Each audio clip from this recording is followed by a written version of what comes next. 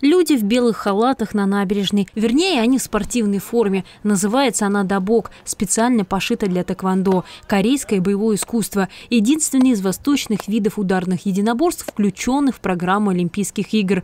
Тэквондо для детей доступен с 6 лет. Развивает волю, самоконтроль, дисциплину и самоорганизацию. В секциях ребят учат самообороне без применения оружия. И из особенностей я бы выделила то, что это в основном удары ногами э, в корпус и в голову. Э, там ценятся удары с, с, с поворота, удары в голову, в прыжках. От карате, наверное, отличается комбинационностью, прыжками, изящностью, гибкостью. Открытый урок по тэквондо провела инструктор Агафья Каушан. Она сама занимается с 9 лет. Теперь переехала в Пушкино и планирует открыть свою секцию. Открытый урок помогает и самим спортсменам. Они привыкают к посторонним взглядам, меньше стесняются и хотят показать себя во всей красе.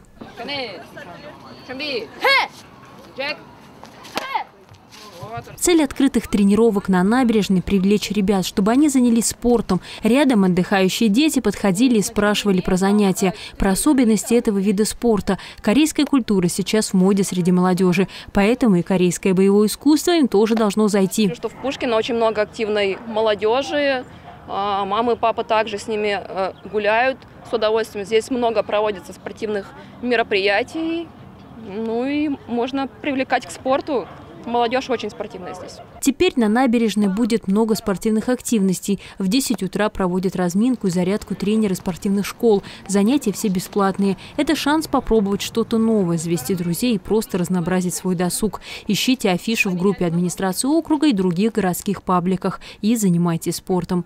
Анастасия Спирина, Юрий Добрунов, Яков Глейзер. Новости Большого округа.